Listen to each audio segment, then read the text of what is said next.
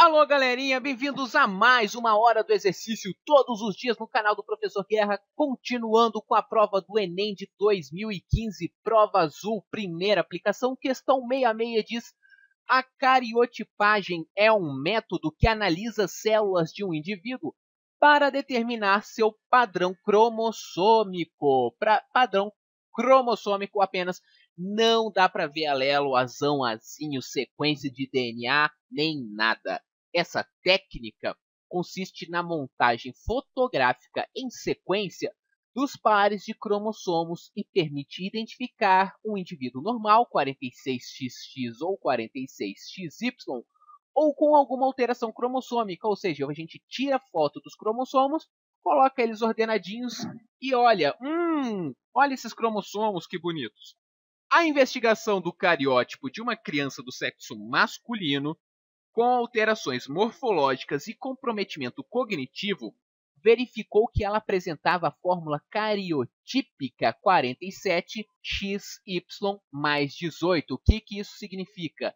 Que além dos 46, tá, ela vai ter 47, ela tem um a mais, ela vai ter os XY que existe numa pessoa cromossomicamente masculina, mas além desses 46, ela tem mais um, que é justamente o 18. Então ela tem 47. Vai ter 23 pares mais um 18 extra. Isso caracteriza o que a gente chama de síndrome de Edwards, a trissomia do 18. Então, mas não é isso que ele está perguntando. Ele está perguntando: a alteração cromossômica da criança pode ser classificada como? Então vamos dar uma olhada nas alterações cromossômicas. Então eu tenho dois tipos básicos de alteração cromossômica. A alteração pode ser do tipo numérica ou do tipo estrutural. Na alteração do tipo estrutural, eu vou ter coisas do tipo deleção de alguma parte, alguma parte sumiu do cromossomo. Eu posso ter a inversão de alguma parte, o cromossomo, sei lá, vai ter o braço ao invés de ser do sentido A a Z, eu vou ter de Z até A, entende? Vai estar ao contrário o pedaço do cromossomo.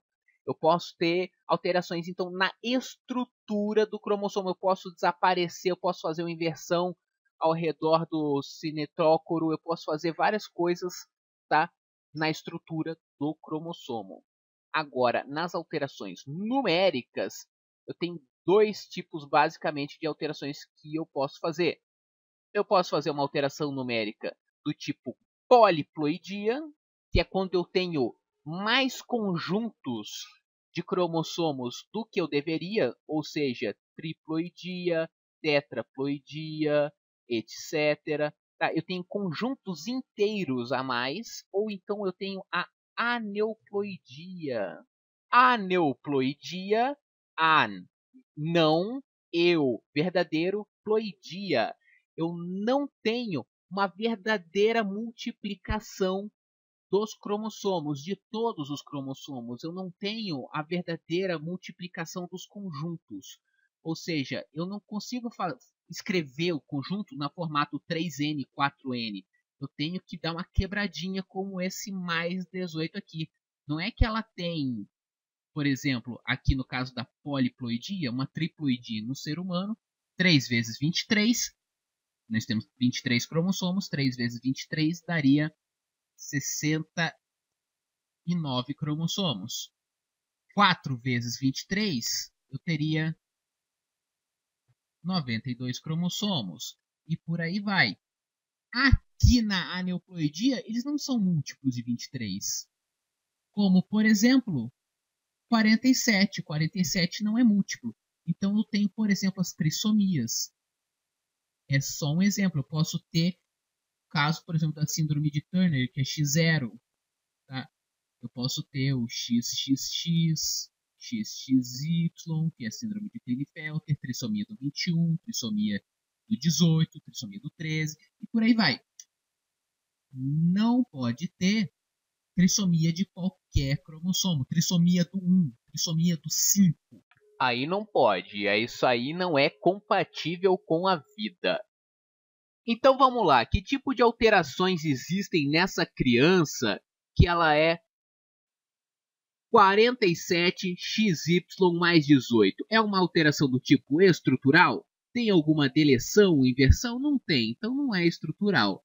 Então vamos lá. É numérica do tipo euploidia, eu verdadeiro? Não tem nada a ver isso aí, né? Isso aí é normal.